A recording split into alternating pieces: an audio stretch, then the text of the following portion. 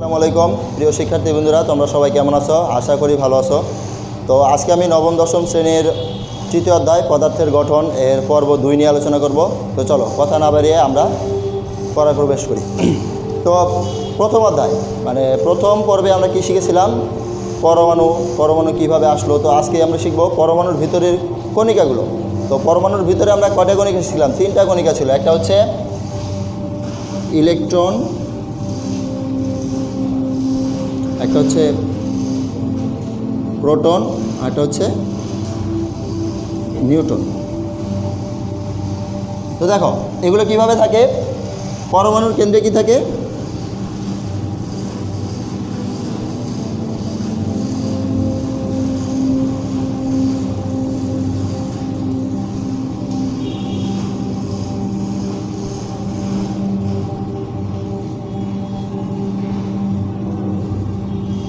কি?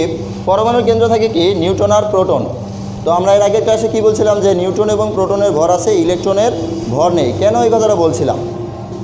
তা তো জানা দরকার। তো দেখো, আমরা তার আগে একটু বিষয় শিখে নিই যে ইলেকট্রনের চার্জ হচ্ছে ঋণাত্মক আর প্রোটনের চার্জ হচ্ছে ধনাত্মক। তো ইলেকট্রনের আপেক্ষিক আদান কত ধরা হয়? এবং প্রোটনের আপেক্ষিক আদান কত ধরা হয়? ইলেকট্রনের আপেক্ষিক আদান হচ্ছে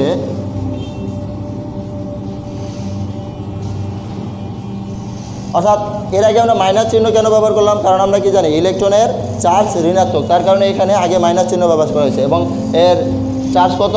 One point six zero into ten inverse nineteen coulomb এবং প্রোটনের চার্জ কত? ঠিক একই রকম। প্রোটন এবং ইলেকট্রন এই দুইটার চার্জই সমান এবং বিপরীত। কারণ আমরা কি জানি, একটা পরমাণুর ভিতরে যতগুলো ইলেকট্রন সংখ্যা থাকে, ঠিক তার ততগুলোই প্রোটন সংখ্যা থাকে। তো আর এখানে নিউটনের চার্জ নিউটনের চার্জ শূন্য। এটা হচ্ছে আপেক্ষিকভাবে কল্পনা করা, আপেক্ষিক। আপেক্ষিক কথার অর্থ কি? অর্থাৎ কাল্পনিক। একটা মান আমরা ধরে নিয়েছি। তো এখানে আমরা নিউটনের চার্জ দেয় এটা আগে থেকে জানি। এই কারণে নিউটনের চার্জ শূন্য দিয়েছে। তারপরে দেখো, এখানে আমরা শিখলাম আদান এখন যদি বলি আমার নিউটনের ভর কত? নিউটনের ভর হচ্ছে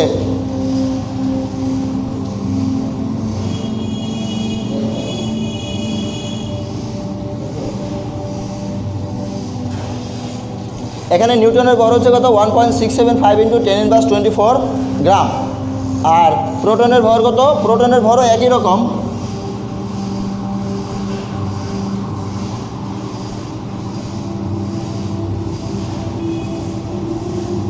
দেখো, প্রোটন এবং নিউটন কি বললাম? প্রোটন এবং নিউটনের ভর প্রায় সমান, কিন্তু ইলেকট্রনের ভর কত? ওই ইলেকট্রনের ভর হচ্ছে, দেখো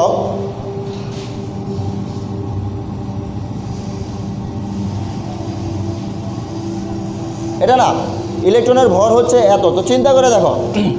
কোথায় আমাদের প্রোটন আর নিউটনের ভর হচ্ছে one point six seven three into ten inverse twenty four অর্থাৎ একটা প্রোটন এবং নিউটনের ভর কত আর ইলেকট্রনের ভর তো কত? এটার সাথে যদি, এই দুটার সাথে যদি কল- পরিকল্পনা করি, তাহলে চিন্তা করে দেখা যায় যে এর ভর কতটুকু কম? অর্থাৎ একটি নিউটনের ভরের তুলনায় zero point zero zero zero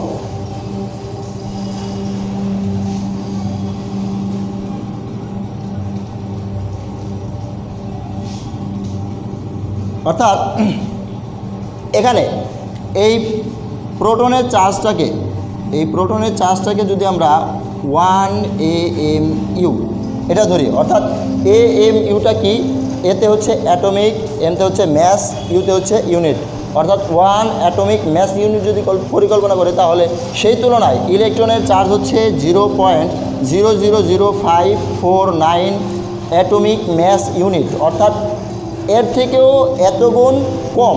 তাহলে চিন্তা করে দেখো তো, যে প্রোটনের এবং নিউটনের যে চার্জ আছে, তার তো ভর আছে, তার তুলনায় ইলেকট্রনের ভর কত? এই কারণে আমরা এখানে বলি যে ইলেকট্রনের ভর নেই। আর ইলেকট্রনগুলো নিউক্লিয়াসকে কেন্দ্র করে খুব দ্রুত গতিতে ঘুরতে থাকে। এত দ্রুত গতিতে ঘোরে যে আমরা জানি যে কোনো একটা বস্তু যদি দ্রুত গতিতে ঘোরে, তাহলে তার ভর কী হয়? হ্রাস পায়। এখানে এই দ্রুত গতিতে ঘোরার কারণে ইলেকট্রনের ভরটা কি? হ্রাস পাইছে। যার কারণে আমাদের এখানে ইলেকট্রনের ভর কম দেখা যাইতেছে। তো দেখো, এখন কথা হচ্ছে ইলেকট্রন ঘুরে ইলেকট্রন কোথায় ঘুরে? কীভাবে ঘুরে? তো এটা আমাদের জানা দরকার আছে না? এটা জানার জন্য বিজ্ঞানী রাদার ফোর্ড যখন আর কি বলেছিল যে প্রোটন, পরমাণুর কেন্দ্রে প্রোটন আছে এবং বাইরে ইলেকট্রনগুলো ঘোরে, কিন্তু তিনি বলতে পারেননি যে ইলেকট্রনগুলো কীভাবে ঘোরে। তাই না? পরবর্তীতে তার দুই বছর পরে বিজ্ঞানী নিলস বোর কী বলল যে ইলেকট্রন ঘুরে, কিন্তু তা একটা নির্দিষ্ট অক্ষের উপর। তিনি এই অক্ষটার নাম দেন কি? ধরো এটা এটা দিয়ে, যেহেতু এখান থেকে ইলেকট্রন ঘুরতেছে, তাই না? তো এটার নাম দেন তিনি কি? এটার নাম দেন অরবিট বা কক্ষপথ বা শক্তিস্তর।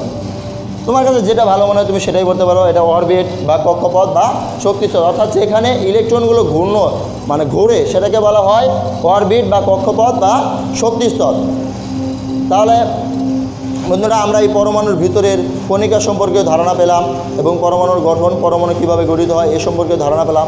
এখন কথা হচ্ছে এই পরমাণুগুলোকে আমরা কীভাবে লিখব বা পরমাণুগুলোকে লেখার প্রতীক কী? তো এই পরমাণুটা কি? আমরা জানি না, একটা মৌলের সর্বনিম্ন কোণাকে বলা হয় পরমাণু। তাহলে আমরা মৌলকে কী দ্বারা প্রকাশ করব? তো মৌলকে প্রকাশের জন্য আমাদের দুটা নিয়ম আছে। দুই ধরনের পদ্ধতি ব্যবহার করা হয়।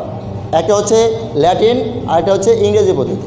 অর্থাৎ কোনো একটা মৌলের ইংরেজি নামের প্রথম অক্ষরটাকে তার মৌলের প্রতীক ধরা হয়, অথবা ল্যাটিন নামের প্রথম অক্ষরটাকে তার প্রতীক ধরা হয়। যেমন দেখো, এখানে যদি আমরা হাইড্রোজেনের কথা বলি, তো হাইড্রোজেনের প্রথম অক্ষরটা কি? এইচ তাই না তার ইংরেজি বর্ণের প্রথম অক্ষরটা হচ্ছে এইচ এই কারণে আমরা এখানে হাইড্রোজেন লিখি। হাইড্রোজেনকে আমরা এইচ দ্বারা প্রকাশ করি।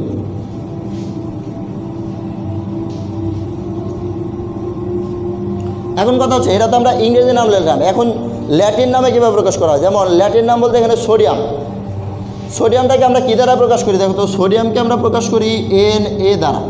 কিন্তু আসলে সোডিয়ামের নাম তো হচ্ছে সোডিয়াম কি এস দ্বারা শুরুর কথা না? কিন্তু এখানে কি আছে? এন এ এই এন এটার কারণ হচ্ছে সোডিয়ামের ল্যাটিন নাম হচ্ছে ন্যাট্রিয়াম। এই ন্যাট্রিয়াম থেকে এন এর উৎপত্তি হয়েছে। এরকম মৌলের বিভিন্ন মৌলের ক্ষেত্রে বিভিন্ন নাম ব্যবহার করা হয়। কোনোটার ক্ষেত্রে তার ইংরেজি নাম ব্যবহার করা হয়, আবার কোনোটার ক্ষেত্রে তার ল্যাটিন নাম ব্যবহার করা হয়। দেখো, আমরা তার পরবর্তীতে কি শিখলাম? যে মৌলের প্রতীক।